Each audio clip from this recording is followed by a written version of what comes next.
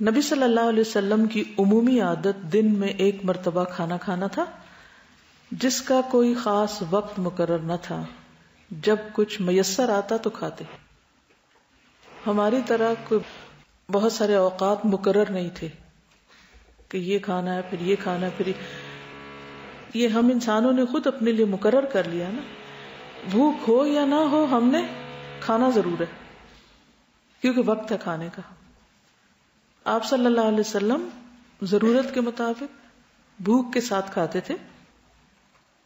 सुबह घर वालों से पूछते कि कुछ खाने के लिए है, ना होता तो क्या फरमाते? मैं रोज़े सू, आज रोजा रख लेता हूँ। ये नाश्ता है। कभी रोज़े से होते और कुछ मुहैया हो जाता तो रोजा खोल भी लेते थे। नफली रोजा खोला जा सकता है, जरूरतन। ये थी आपकी रूटीन। लेकिन मुख्तलिफ़ रिवायात में कुछ चीज़ों के इस्तेमाल करने का ज़िक्र मिलता है।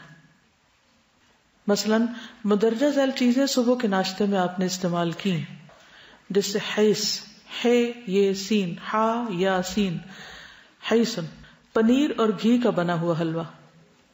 तिरमिजी की रिवायत है, कुरसा और खल, रोटी और सिरका। फिर इसी तरह दीगर जो आपकी गजाएँ हैं उनमें खुब्स और लहम रोटी और गोश्त, तमर, खजूर, नबीज नबीज खजूरों को रात को भिगोकर सुबह उनका पानी पीना या उसका शरबत बनाकर पीना। लबन, दूध।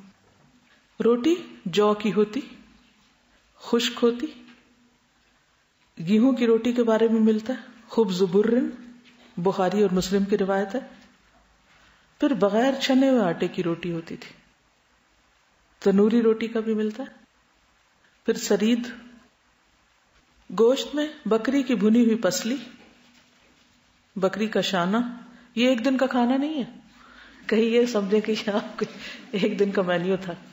यानी आपने जो कुछ ज़िंदगी भर खाया, उन चीज़ों का जो ज़िक्र मिलता है, उन सब की एक लिस्ट है। बकरी का शाना और बाजू पाए, पुष्ट का गोश्त, मुर्गी का गोश्त, खुश्क गोश्त। अंबर मछली, गोरखर, हिमारन वाशियन अर्नब, खरगोश।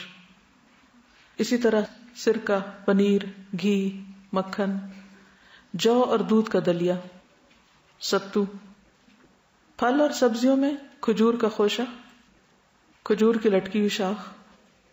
उसमें से, यानी खजूरें तोड़ के खाएँ तम्र, खुश्क खजूर, ताज़ा खजूर, रुतब। बित्तीख, तरबूज, जैतून, अराक, पौधे का फल, अराक। ककड़ी, कद्दू, मीठे में किशमिश, हलवा और शहद, मशरूब में, ड्रिंक्स में, जमजम, ठंडा पानी, दूध, पानी मिलाया हुआ दूध, सत्तू, नबीज, वो जो खजूर का जो शरबत होता है। असल शहद डायरेक्ट भी शहद पिया और पानी में मिलाकर। आपकी नापसंदीदा गजाएँ लसन प्याज और गोह, दब, दौद और बा। गोह, कैसी होती है? बड़ी सी चिपकली। ये नापसंदीदा थी आपकी, ठीक है?